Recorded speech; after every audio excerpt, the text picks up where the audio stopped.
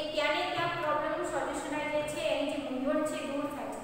પણ પરોક્ષ રીતે થાય, તો જવાબ ક્યારે કેવો આવશે એ નક્કી હોતું નથી. એટલે લેખિતમાં લખીને જે માહિતી સંચાર જે સંદેશાની આપણે થાય છે, એમાં સફળતા વિશે શંકા જોવા મળે છે.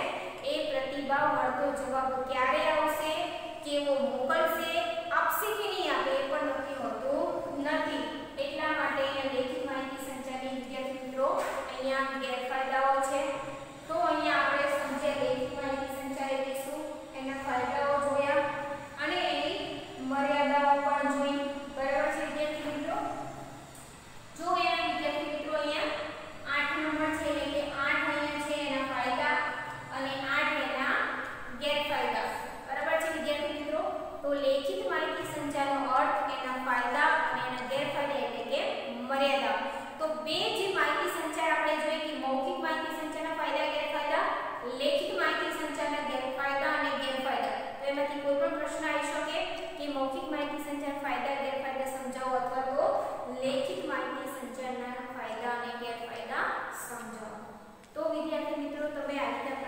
શકો છો, પ્રસ્તાવના લખી શકો છો, એનો અર્થ લખી શકો છો.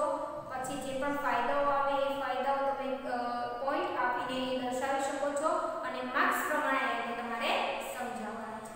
અને તમે એને પોઈન્ટમાં પણ તમે બધા જે રીતના જે છે એના જવાબ એ તમે લખી શકો છો. તો વિદ્યાર્થી મિત્રો, અહીંયા આપણે પહેલું પ્રકરણ આપણે પૂર્ણ કરીએ છીએ. માહિતી